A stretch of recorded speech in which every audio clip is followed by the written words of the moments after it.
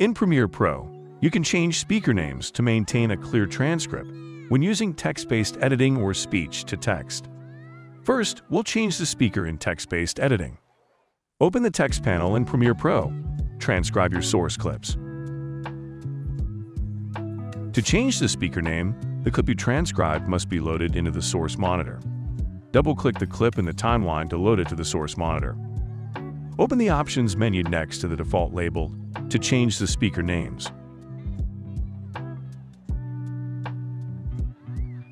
Switch back to the program monitor to see the changes reflected.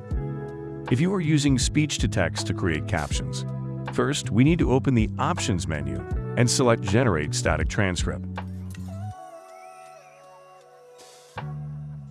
By default, Premiere will separate speakers.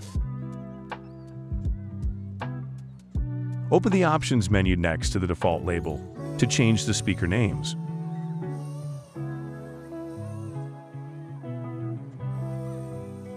These changes will be reflected in your exported transcripts.